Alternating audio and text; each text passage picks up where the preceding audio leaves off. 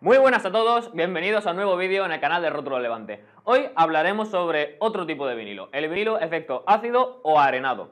Respecto al vídeo anterior, que hablamos sobre el vinilo de corte, en este también hablaremos sobre las características de este tipo de vinilo, cómo colocarlo y quedaros hasta el final del vídeo porque os daremos consejos para que os quede perfecto. Así que nada, empezamos.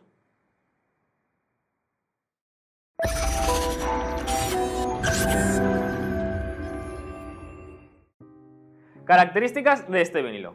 Para empezar, este vinilo ácido o arenado es un tipo de vinilo translúcido. Esto quiere decir que cuando lo peguéis a la cristalera obtendréis esa privacidad que buscáis al mismo tiempo que dejáis pasar la luz natural. Por ejemplo, este vinilo se utilizaría en oficinas, en farmacias, en restaurantes, cualquier negocio que como digo queréis obtener esa privacidad. Colocación. Este vinilo es de muy fácil colocación respecto, por ejemplo, al vinilo de corte del anterior vídeo. Aquí rociáis agua, bastante más cantidad que en el anterior, y podéis colocarlo, quitarlo, encuadrarlo las veces que queráis, donde queráis ponerlo. En rótulos levante os recordamos que es más bien para interior que para exterior, aunque podéis ponerlo para el exterior, pero tenéis que tener en cuenta que por las inclemencias del tiempo se acaba deteriorando antes que si lo ponéis por el interior. Así que nada, vamos a pasar ahora a la colocación y os enseño cómo. Vamos a ello. Os recomiendo que busquéis una zona plana, a poder ser una mesa, que no tenga nada alrededor, suciedad, polvo, etc. Manos súper limpias. No me vengáis de cambiarle el aceite al coche. Os vais a una esquina. Despegáis con cuidado para no llevaros el vinilo. Y vais poco a poco estirando, como digo, con suavidad, hasta quitarlo completamente. Os recuerdo que esto no es como el vinilo de corte, por lo tanto, aquí sí que se quita completamente el vinilo y vamos echando agua. Bien, pues ahora pasamos a, con un pulverizador, echar mucha cantidad de agua para que luego nos pueda ayudar a la hora de la colocación en el caso de que cometamos un error, no lo cuadremos bien, lo que sea poder quitarlo y volverlo a poner las veces que necesitemos. Si no echáramos el agua, pues si cometiéramos algún error, se pegaría de tal forma que no podríamos quitarlo bien. Echaremos suficiente cantidad de agua tanto en el vinilo como en el cristal a la hora de colocarlo. Ya tenemos el agua colocada en el vinilo. Ahora pasamos al cristal donde queremos colocarlo y empezamos a hacer lo mismo.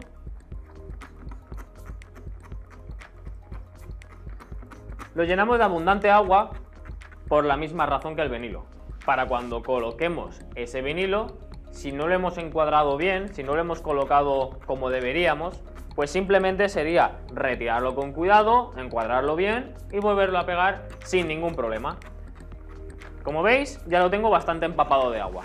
Ahora simplemente sería coger el vinilo con cuidado y colocarlo. Vamos a colocarlo. ¿Me saldrá la primera? Bien, pues cogéis un punto de referencia, por ejemplo yo voy a coger la parte de arriba. La referencia más que nada es para una guía de colocación. ¿Veis? Más o menos así. Y no tengáis miedos a equivocaros o no encuadrarlo bien o ahora tendré que tirar el vinilo. Simplemente veis que yo lo he puesto bien por arriba, pero por abajo queda holgado. Pues simplemente sería retirarlo y volverlo a colocar correctamente. Ahora digamos que ya lo tenemos preparado. Más o menos lo tenemos en su sitio. Ahora tenemos que quitar el agua que ha quedado detrás. Cogemos la espátula y vamos dándole. Por ejemplo, a lo mejor desde la cámara no lo veis, pero aquí se me ha quedado una burbuja más o menos grande. Pues mirad, vamos estirando, lo quitamos la espátula hacia arriba. ¿Consejos que os doy? Pues por ejemplo, empezar siempre de la parte, digamos un palmo de lo que sería la guía de arriba hacia abajo, pues desde ese punto hacia la izquierda. Hacia un borde. Los de arriba pues eh, hacia arriba. No empujéis el agua hacia abajo porque será luego más difícil, porque tendréis que coger, tirarlo hacia un lado. Nada, vais hacia el borde, la quitáis. Del palmo hacia arriba, pues hacia arriba, no hacia abajo. ¿Veis? La parte de arriba, digamos que ya la tenemos más o menos perfecta, colocada. Si luego queda cualquier burbujita, pues como en el vídeo anterior, cogéis luego, una vez esté colocado, eh, un cúter y con la punta podéis pinchar y quitar esa burbujita.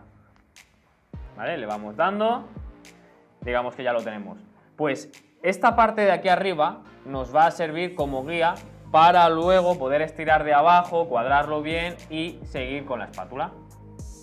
Como veis ya tenemos la primera parte que nos va a ayudar y a servir como guía para la colocación de la otra mitad. Como veis ya lo tenemos por aquí y falta de la mitad hacia abajo. Y ahora simplemente del centro hacia la izquierda, del centro hacia la derecha. Ahí. Como digo, si queda cualquier burbuja, no hay problema porque luego con la punta de un cúter podemos ir quitándolo.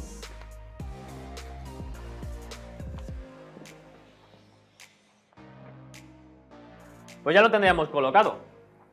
Ahora lo que necesitaríamos sería papel o un trapo seco para quitar ese agua sobrante. ¿Me pasas el trapo? Efectos. Ahora simplemente quitamos ese agua sobrante. Y haberlo colocado como digo. Y listo. Con esto quiero demostrar que hasta gente sin experiencia como yo, que soy el community manager y no soy un montador que me dedico especialmente a esto, siguiendo los pasos de los vídeos, perfectamente podemos colocar este vinilo o cualquier otro sin ningún problema y quedaría como un profesional. Si queda cualquier burbujita, pues simplemente con lo que sería la punta de un cúter muy delicadamente para no estropear el vinilo, pinchamos encima de esa burbujita y con la espátula del vídeo apretamos y evacuamos ese aire o agua que queda.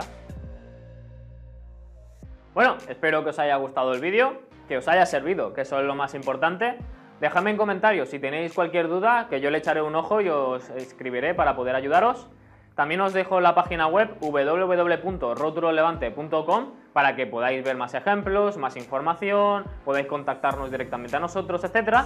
También os dejaré en la pantalla esa de ahí las redes sociales para que nos podáis seguir y, como digo, ver más ejemplos, más productos, algún sorteo que otro caerá y darle mucho amor a este vídeo. Yo que me lo trabajo, ¿vale? Nos vemos, hasta luego.